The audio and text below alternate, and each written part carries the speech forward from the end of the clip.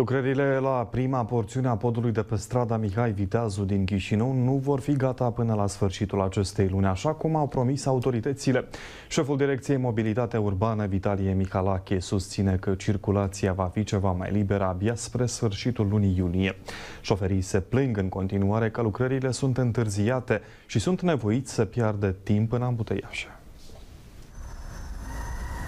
Se depun toate eforturile pentru a fi finalizate în, în luna iunie aceste lucrări de, pe porțiunea de pod care astăzi este în uh, reparație. Cu câteva luni în urmă ați anunțat că uh, prima porțiune poate fi deschisă la sfârșitul lunii mai. Să înțelegem că ea nu va fi deschisă în uh, această perioadă? Totul depinde de procesele tehnologice care astăzi sunt în, în lucru sau elementele de, de lucrări. Ambuteiajele sunt la ordinea zilei în zona străzii Mihai Viteazul.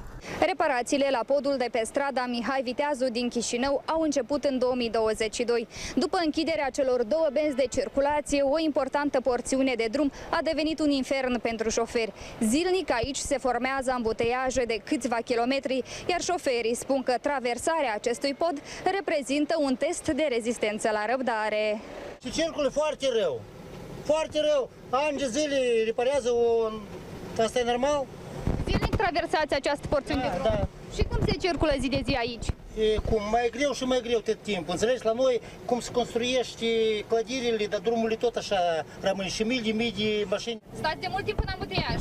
A, um, Sara vreo 30 de minute 40. Des traversați această porțiune. Fiecare seară. Și se lucrează, nu se lucrează, cum se circulă? Se lucrează, dar încet. Autoritățile dau asigurări că până la sfârșitul anului 2024 lucrările de reparație vor fi finalizate. Pentru reabilitarea podului din bugetul municipal au fost alocate 108 milioane de lei.